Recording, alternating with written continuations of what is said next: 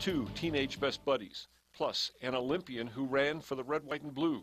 Two families deal with terrible loss.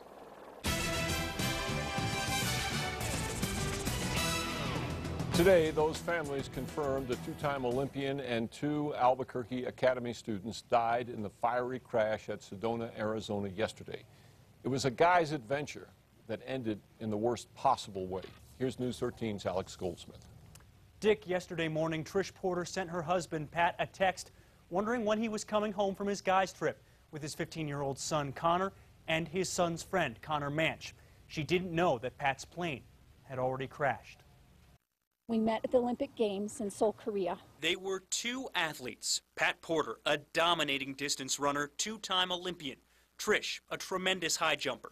Married in 1991, they settled in Albuquerque and had two kids, Connor and Shannon. In recent years, he was known for his great love of flying and the fun he had with the kids on his uh, kid trips.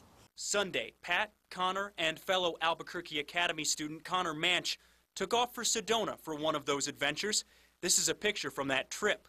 Yesterday morning, the three were on their way home when tragedy struck. Sedona police say Pat's Beech 60 struggled to take off from the Sedona airport, hit a fence at the end of the runway. The plane then plunged hundreds of feet into a ravine and burst into flames. Nobody survived. My daughter Shannon, who's 11, and I will miss dearly this other half of our family.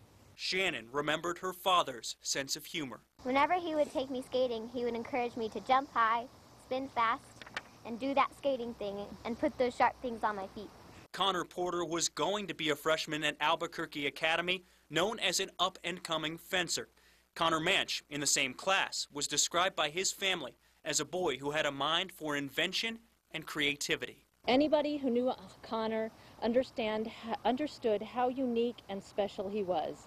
An incredible musician, a strong athlete, and a great student. He loved life, his friends, his school, and was very, very proud to tell others how much he loved his sister Shannon. I am so glad he had such a great life. I am so glad I spent every minute of it loving him instead of fighting, because you never know when God is going to take them from you. Trish says she fell in love with Pat because of his sense of humor. Fittingly, the last text message he sent to her was a joke. Back to you, Dick. Okay, Alex, finding the cause of that crash will likely take months. In 2003, another plane had trouble taking off from Sedona, also hit a fence and crashed below the runway, also killing three people. That crash was blamed on a fuel problem.